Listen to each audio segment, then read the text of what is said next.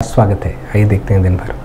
जिला महिला चिकित्सालय के निवर्तमान प्रमुख अधीक्षक डॉक्टर एन के श्रीवास्तव का सम्मान एवं विदाई समारोह का आयोजन महिला चिकित्सालय के प्रांगण में आयोजित किया गया।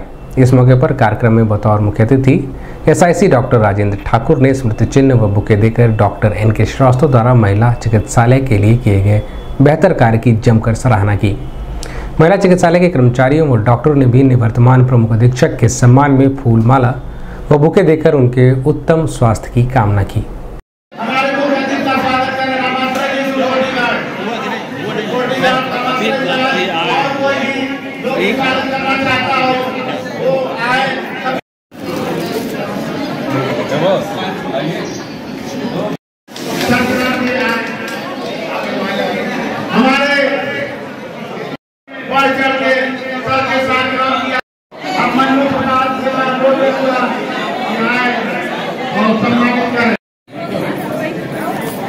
सभी लोगों का अब मैं कार्यक्रम को आगे आप लोग के अंदर से बढ़ाना चाहता हूँ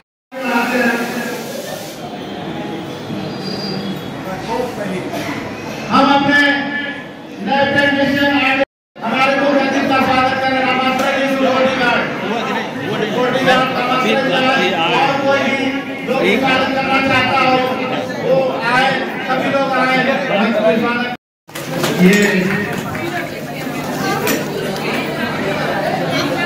सर खिलाइए सबको और क्या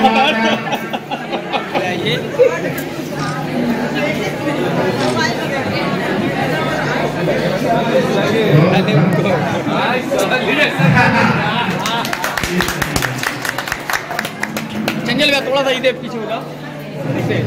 थोड़ा सा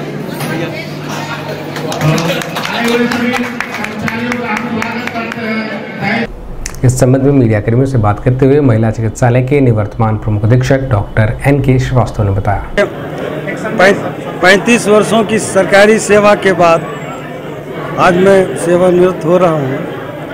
इस अवसर पे मुझे महिला चिकित्सालय के कर्मचारियों का, अधिकारियों का भरपूर सहयोग और प्यार मिला और आज के इस कार्यक्रम को देखते हुए मैं अभिभूत हूँ।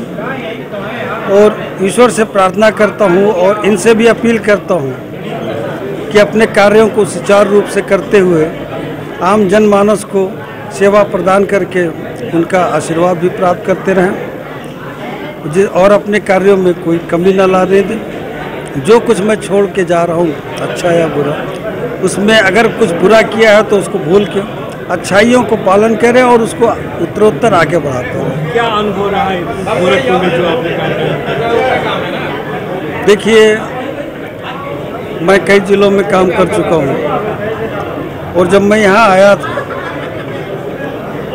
तो महिला अस्पताल में कार्य करने का मेरा पहला अनुभव था। मुझे यहाँ के कर्मचारियों अधिकारियों का भरपूर सहयोग मिला, जिससे मैं अपने कार्य को सुचलता, कुशलतापूर्वक निभा निभा सका। तो इसके लिए मैं यहाँ के सभी कर्मचारी, अधिकारियों का आभारी हूँ। उन्हीं के सहयोग